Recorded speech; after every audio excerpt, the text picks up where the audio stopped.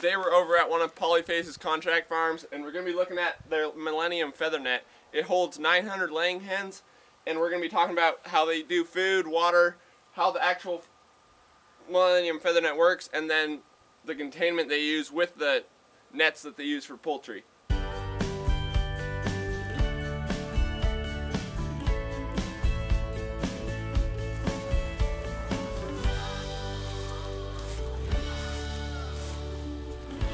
The feed buggy they use. It holds two to four weeks worth of feed for their chickens.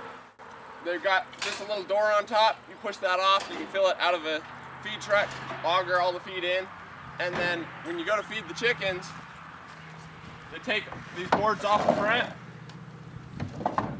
and five gallon buckets to the feeders like this, um, half a bucket per feeder, and away they go. It's pretty pretty easy to feed mechanism.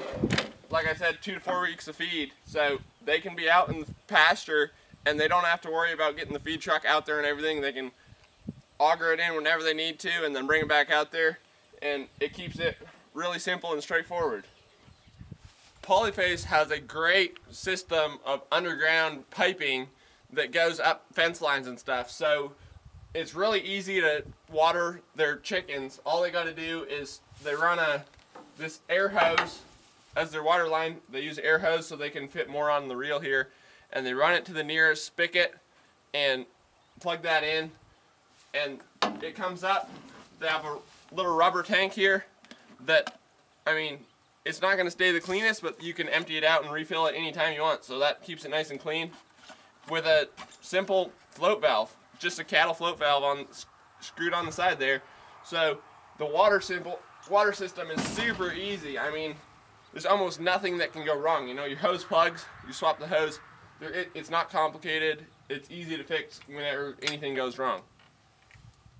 So on the front corners, because these are laying hens, you need to give them some oyster shells. So the front corners, they've got a little, just a regular feeder here, and filled with oyster shell. It hangs off the ground, so when they move it, it just they don't even have to do anything. They fill it when it needs filled and then they don't have to worry about it. It hangs underneath the roof doesn't get wet and works really well. So I wanted to take a second and let you guys know about a couple of things. First of all um, my brother's been making these Leatherman sheaths. They're made to fit the Surge or Wave Leathermans but they'll fit just about any multi-tool and they're the best sheaths on the planet. I mean they last forever I've been wearing one for a number of years now and it's an earlier model but it still works great and these are awesome. You can find them at polyfacefarms.com or I'll put a link in the description along with a bit of a better explanation of exactly how they work. And the other thing is we're now on Instagram at Basic Skills Channel so you can check us out there and keep up to date with what's going on. So we'll talk a little bit about the design here. You can see they've got a really great X frame, so it's really strong. Roof goes up on top of that. And they've just got, I believe, four or five of those X's across. And then they have the X's going the other way too. So it's just, it's really solid. They made a bunch of triangles so it can't collapse. And you can see it's built to be moved. So low roof, won't blow away. The stairs don't quite go to the ground. They've got a nice angled support there so that they stay off the ground. Um, the chicken ramp here sits on top of the skid, and the skids go front to back all the way around. So you can just move it without having to push anything up on the inside or mess around with anything. You just hook up and away you go. Really good design, really simple, but super effective. So in here we've got nest boxes the general rule of thumb is one nest box per 10 birds. So when you've got 900 birds in here, you got to have about 90 nest boxes roughly. And these are closable nest boxes. So at night you close them, keeps the chickens from going in there and soiling all the hay, which keeps your eggs cleaner. Um, and then you open them up in the morning before they start laying. We also, we're on a slatted floor here. So the chickens come in here to sleep. They also have roosts along the side there. But when they come in here to sleep, they're going to be pooping all over the floor.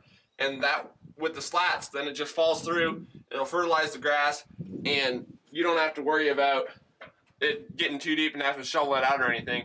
So it makes a real nice place. You can walk in and collect all the eggs at night, close all the nest boxes, and you don't have to worry about ever cleaning it or it getting too slick or anything.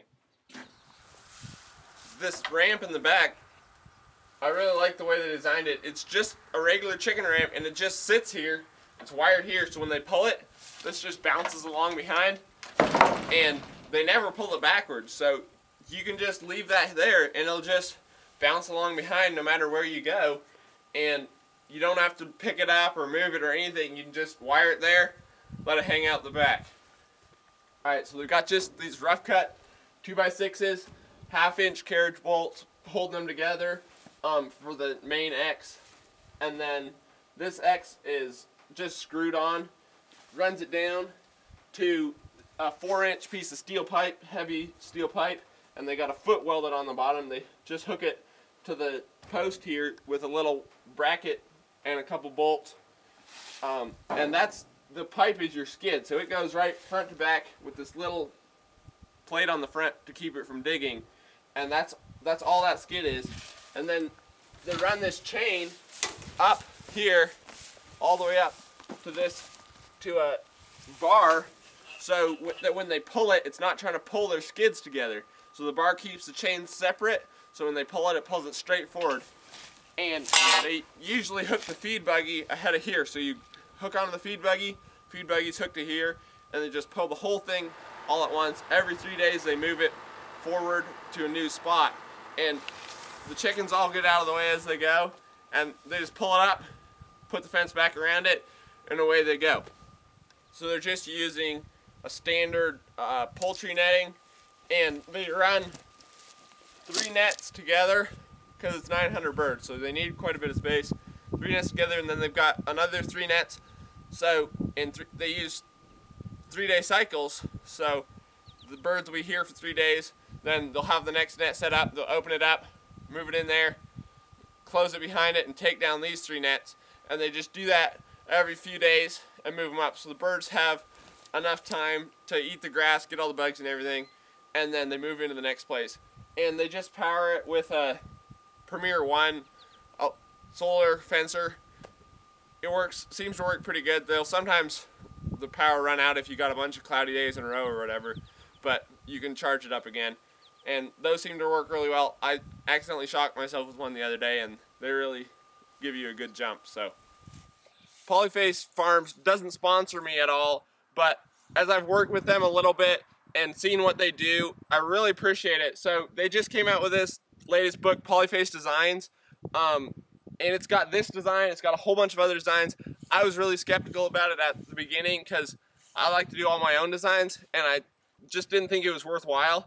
But when I actually got a chance to look at it and go through it, it's really good. I got two copies of it now. It's a little expensive, but it's worth it's worth the money. So I would really recommend that. Um, if you enjoyed this video, please consider subscribing and you can check out some of my other videos. Thanks for watching.